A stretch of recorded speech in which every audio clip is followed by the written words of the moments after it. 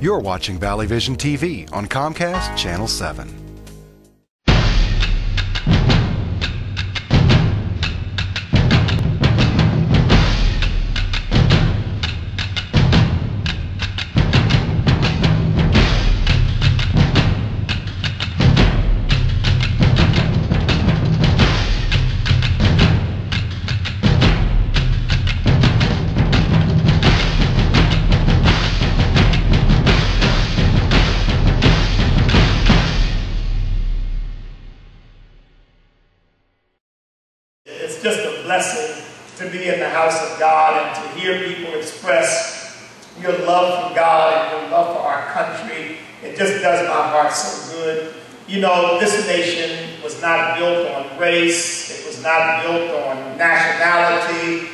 Built on truth. It was built on principle.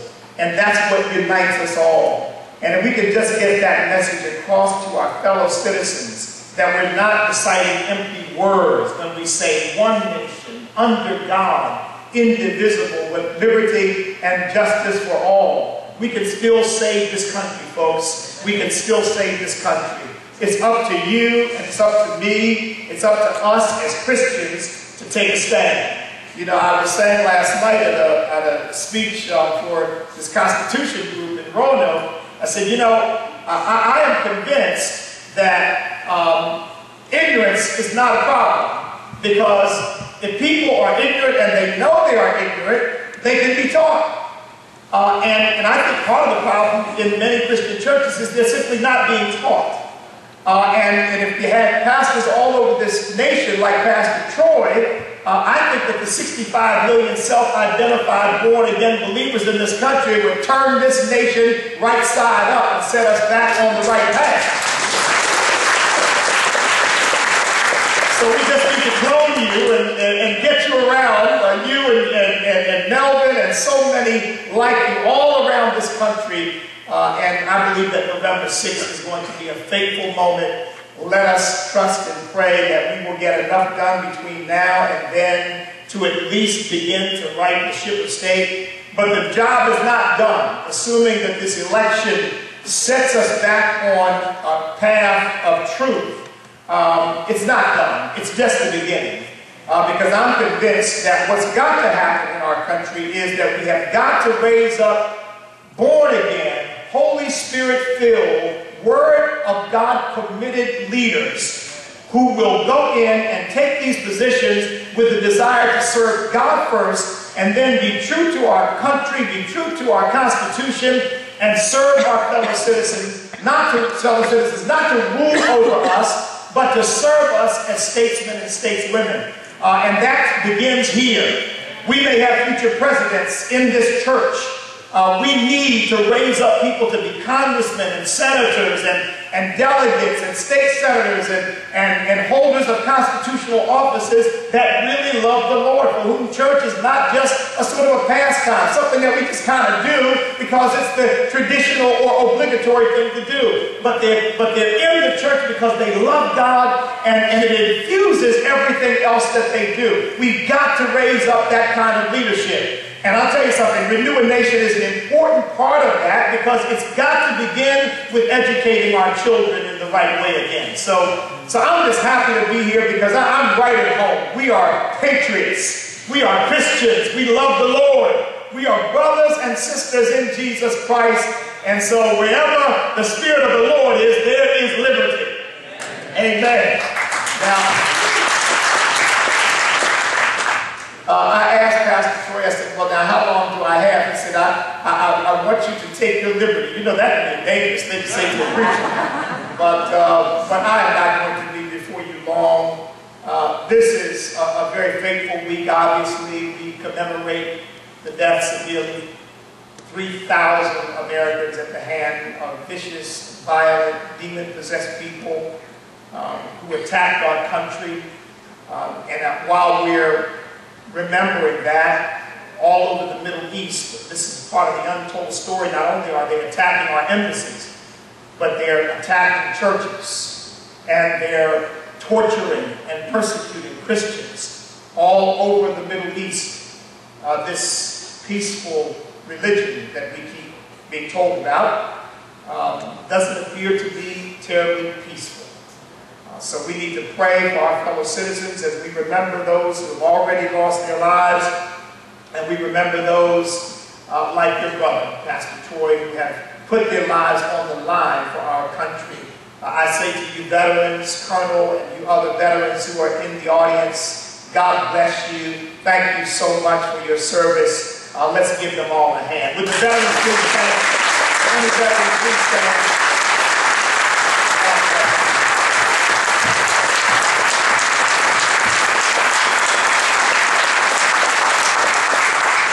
I, I had the uh, unique, the unusual, the moving experience. I don't know how many of you have seen the movie Taking Chance. Uh, it's a movie about a Marine bringing home the body of a fallen comrade.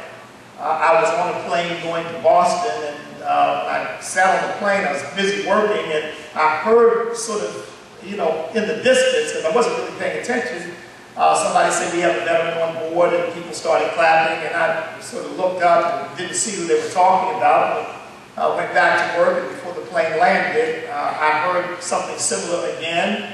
Um, please sit still until our veteran leaves the plane. And I heard people clapping again and I didn't quite understand that because while we certainly always acknowledge veterans and thank them for their service, it was a little unusual to be told, wait on the plane until the veterans uh, deplane. And then as I finally began to pay attention to what was going on, in the very first row I saw Marine stand up in dress blue uniform. And I realized what was different. On that plane was the body of a fallen Marine. And he was there to escort that body home. And he stood up, and people, of course, just erupted in, in applause. That Marine never looked our way. He stood at the door, pulled his uniform, stood at attention until the door was open, stepped off, and outside was a phalanx of black SUVs, Marines in dress blues, the family of that fallen Marine, state police officers, firefighters, police officers, all standing there saluting as that body was taken off the plane. And I, watching that Marine, he wasn't looking for any recognition, he wasn't looking for applause, he wasn't looking to be honored. He was doing his duty. And he was doing it with dignity. You could hear a pin drop on that plane. People are usually in a hurry to get off. They've got places to go. Not a single person moved. Folks, this is the very best of us. Greater love has no man than this, that a man lay down his life for his friends. And God has blessed us with a country in which throughout our history, people have been willing to lay down their lives for this cause, for this great nation of ours, that we might all be free. It was an unforgettable moment. I'm blessed to have experienced it because I never have. Uh, and it's a reminder to me of the terrible price that has been paid for the, for the freedom that we have. And a reminder to all of us that if they can do that, we can certainly stand up and speak up and vote and, and work and participate and be involved in the life of our country, politically and otherwise.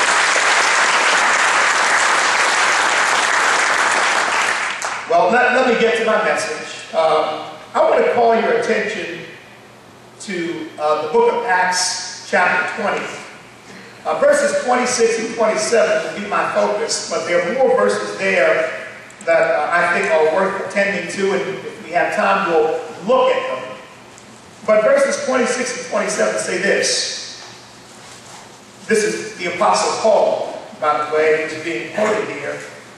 Therefore, I testify to you this day that I am innocent of the blood of all men.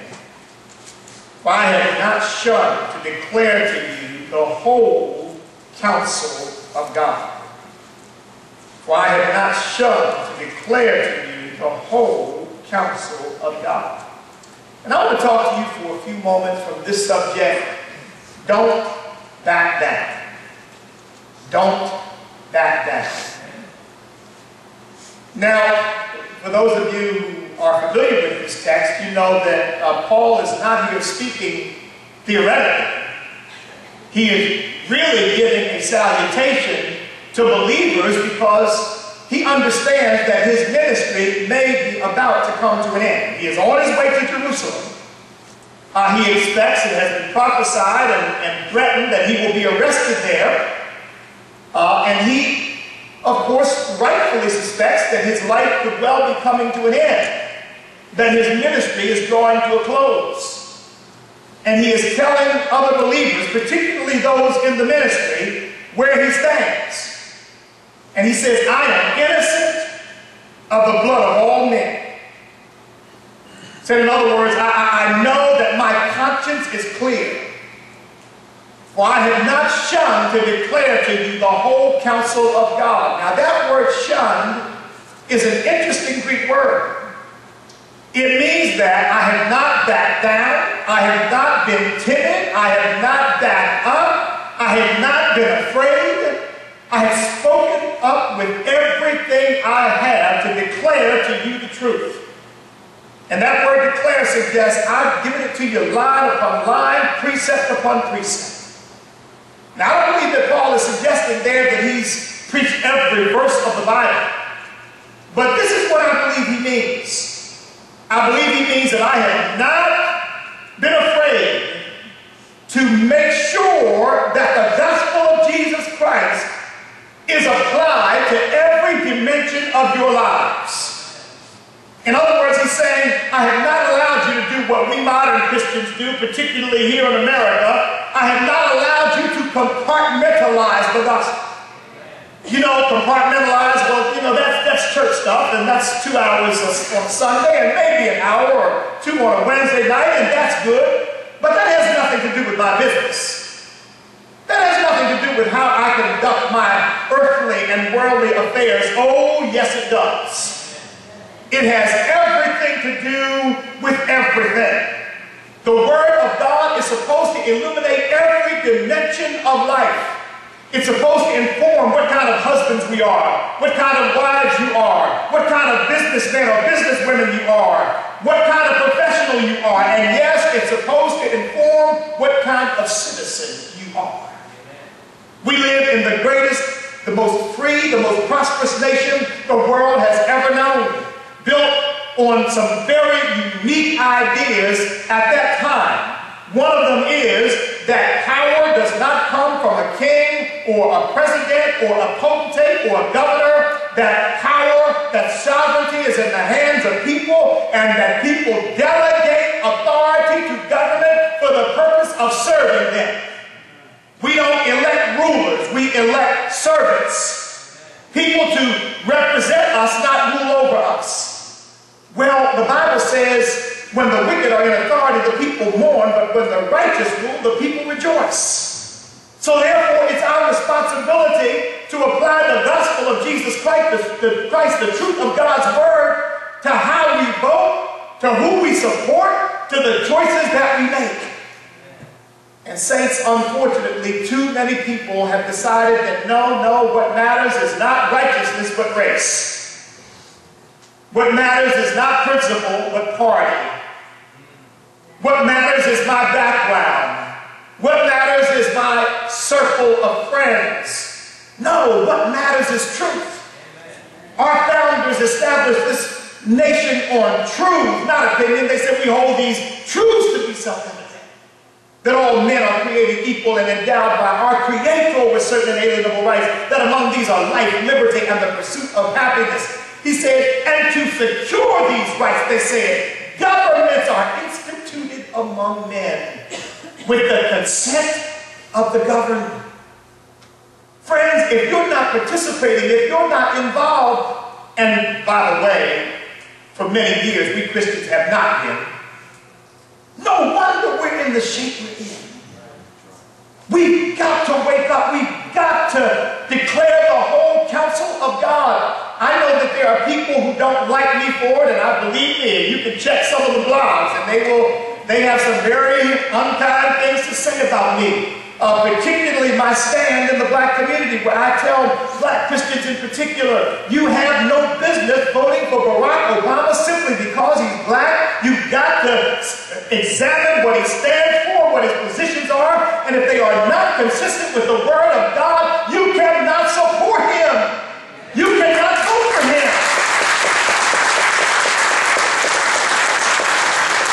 Look, folks, we, we, we, we have got to take our stewardship responsibility seriously. I believe that God placed this nation in the hands of Christians. Our founders believed that this nation is providential, that it is a gift to us given by Almighty God, and He expects us to preserve and to keep it. He will help us. But if we do nothing, not even God can help us.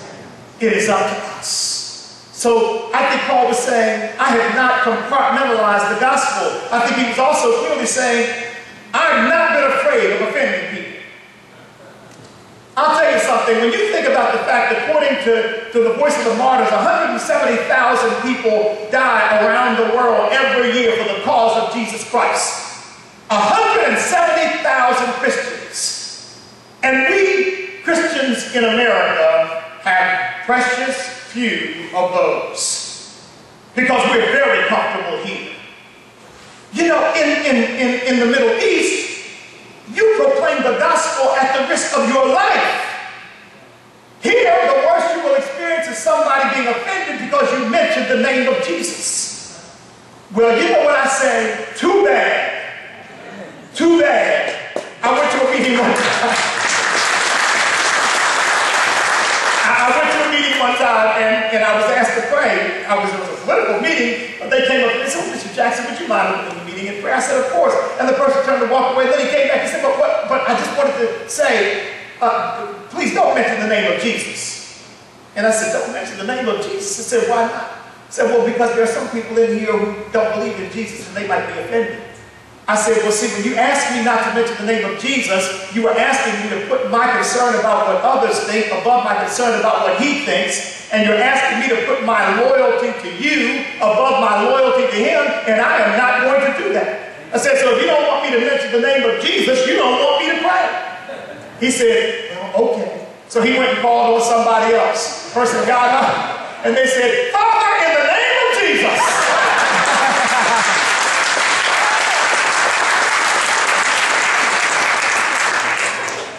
Saints, we don't have to be afraid people will be offended.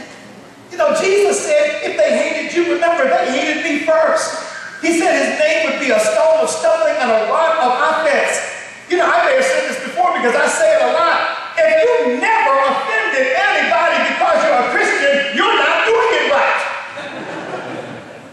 We're supposed to be an offense to the world. Jesus said, if the world loved you, said that you would be of the world because the world loves its own. He said, but the world hates you because you are not of the world.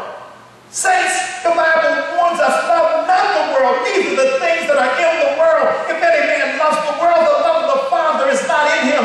For all that is in the world, the lust of the eyes and the lust of the flesh and the pride of life are not of the Father but of the world. And the world is passing away and the lust thereof, but he who does the will of God abides forever. It is time for us as Christians to say, I am crucified with Christ. Nevertheless, I live, yet not I, but Christ lives in me, and the life which I now live, I live by the faith of the Son of God, who loved me and gave himself for me. I know there are people who say, well, you know, if you, if you behave that way, uh, you know, that your, your friends might not want to be around you. Folks, when I got saved in the middle of Harvard Law School, uh, I did not have a problem with trying to figure out how to avoid hanging out with the same friends and doing the same things I used to do. Because believe me, when I came back the, after the, the semester of 1976, when I came back in that January, I had left a straight up, sold out sinner and come back full of Jesus. I didn't have to worry about my friends. they didn't know what to do with me. Yes, they were offended. In fact, I was say walking down the halls of Harvard Law School was sometimes like the parting of the Red Sea.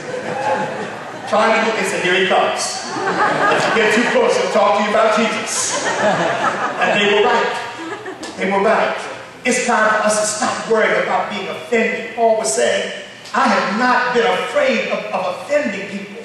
And then, and then, folks, I would say this. We need to always remember that we have a responsibility beyond the individual. We have a responsibility to redeem the culture.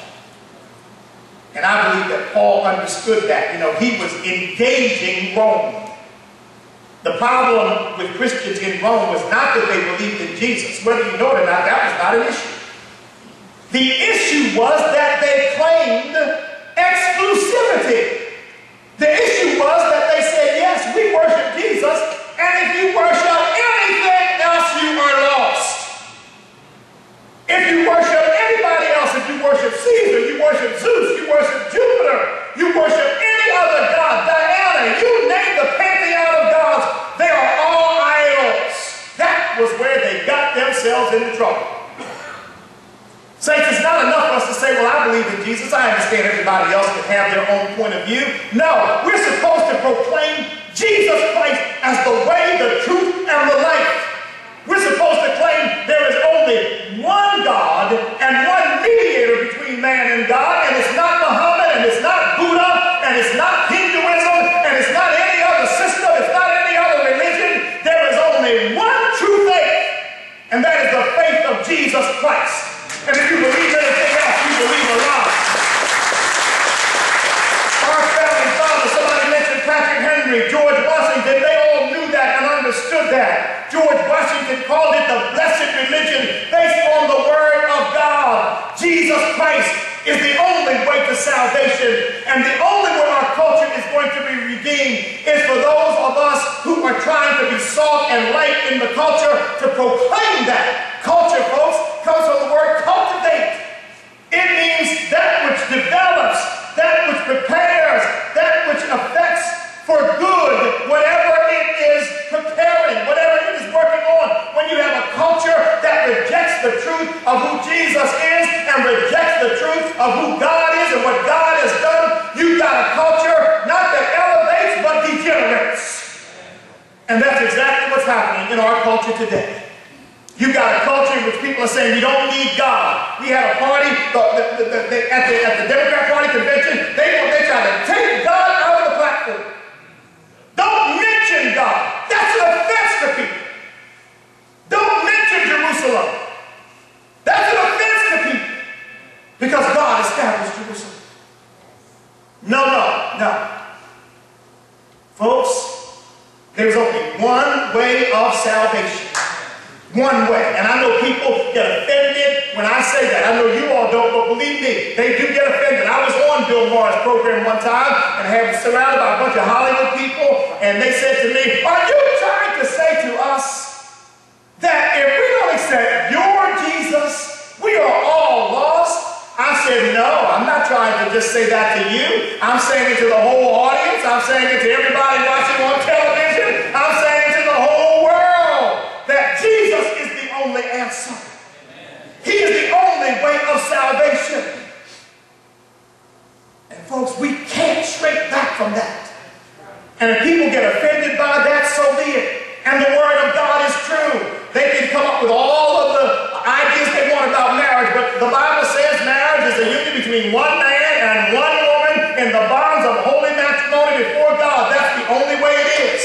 And folks, if we don't stand up for that, believe me, people are talking about it's not supposed to be Adam and Steve, but Adam and Eve. I got news for you. If we don't take a stand, it's going to soon be Adam and Wolf. I'm serious. I, because, because the human mind, the Bible says the heart is deceitful and, and desperately wicked above everything. Who can know it? We've got to take a stand for truth. And so we cannot afford to ignore the culture and say, well, my family's going to serve God, and I don't care what happens out there. Folks, it's coming to you. It's coming to your school. It's coming to your community. If you don't take a stand, you will soon be overwhelmed by the current of wickedness that is going on around us. We've got to stand up. We've got to stand up. Look, the last two things I'll say to you, and I'm going to take my seat, is we've got to save this country. We've got to save this country. And there's only one way you can save this country. You've got to bring it back to its foundations. You've got to bring it back to the basis upon which it was built. The notion that this nation is providential, that it was given to us by God, and without God we have nothing.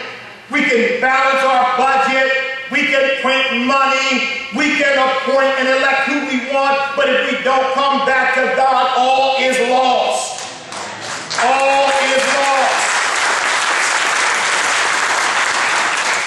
And we have got to understand that it's up to us. If we don't take a stand, nobody else is going to. Don't be afraid. Don't be concerned about what the consequences will be. I tell preachers all the time, don't be afraid about who's going to leave your church. The Apostle John, just studying the book right now, he said, if they were of us, they would remain with us. They left us, therefore they were not of us. When Jesus told them, unless you eat of my flesh and drink of my blood, you have no part in me, said many of his disciples went back following him. He didn't run after any of them and say, please come back, let me explain. He turned to his disciples and said, will you two go away? They said, Lord, where shall we go? You have the words of eternal life. You've got to stand up, saints, and not be afraid. It's up to us. Nobody else can do it. The Bible says, if God be for us, who can be against us? He that spared not his own son, but delivered him up for us all, shall he not also with him freely give us all things? Who shall lay anything to the charge of God's elect? It is God who justifies. What shall separate us from the love of God? Shall tribulation or persecution or nakedness or peril or famine or sword? No! In all these things we are more than conquerors through him that loved us. I am persuaded that neither death nor life nor angels nor principalities nor powers nor things present nor things to come nor anything else in all of creation shall separate us from the love of God that is in Christ Jesus. I read the back of the book and I know that we win. We win.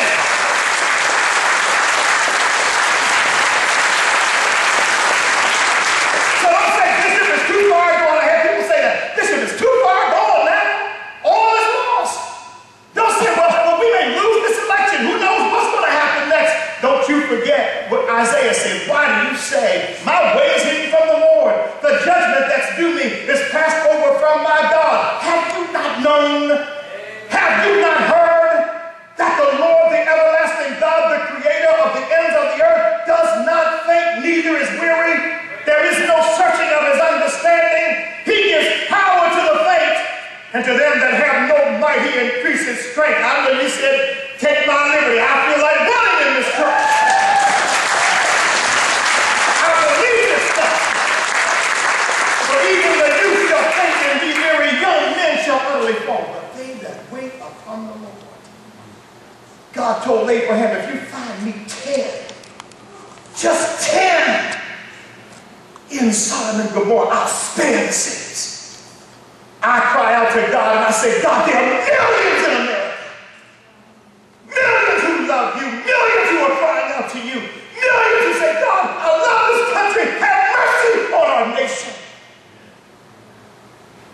And if God was and Gomorrah for just 10, I know that the United States of America is going to be all right if we will just stand up, stand up for Jesus. We'll mount up with wings as eagles. I believe the 21st century can be the greatest century in the history of our country. That Jesus, if he comes back in the 21st century, will come back and say, well done. Well done. We'll run and not We'll walk and not. God bless you. God bless you. For more information about Exodus Faith Ministries or to contribute to the ministry, visit exodusfaithministries.org or send mail to P.O. Box 15301, Chesapeake, Virginia 23328.